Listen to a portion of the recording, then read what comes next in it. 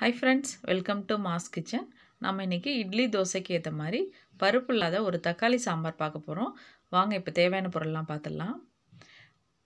பெரிய சைஸில் உள்ள தக்காளி மூணு ரெண்டு பச்சை மிளகாய் மூணு சின்ன வெங்காயமாக எடுத்திருக்கேன். இதில் தக்காளி அதிகமாகவும் வெங்காயம் கம்மியாக சேர்த்துக்கணும். கட் பண்ணி குக்கரில் போட்டு ஒரு விசில் விட்டு எடுத்து வச்சுருக்கேன். இது ஆறுனதுக்கப்புறம் நம்ம மிக்ஸி ஜாரில் போட்டு அரைச்சிடலாம். இப்போ நான் எல்லாத்தையும் மிக்ஸி ஜாரில் சேர்க்குறேன். இது கொஞ்சம் ஆறுனப்புறம் நம்ம அரைச்சிட்டு பார்க்கலாம். பாருங்கள் அரைச்சி வச்ச பேஸ்ட்டை பாருங்கள் இப்போ ரெடி ஆகிடுச்சு இப்போ இதுக்கு ஒரு தாளிச்சிடலாம். ஒரு கடாய் வச்சுருக்கேன். அதில் ஒரு ஸ்பூன் ஆயில் விடுறேன். ஆயில் காஞ்சனை அரை டீஸ்பூன் கடுகு சேர்க்குறேன். கூடவே கருவேப்பிலை கொஞ்சம் சேர்த்துருக்கேன். இதில் ரெண்டு டீஸ்பூன் அளவுக்கு சாம்பார் பொடி ஆட் பண்ணுறேன் அதை கொஞ்சம் நல்லா கலக்கி விட்டுட்டு தக்காளி வெங்காயம் வேக வச்ச தண்ணி இருக்கு இல்லையா அது சேர்த்துக்குவோம் அதில்.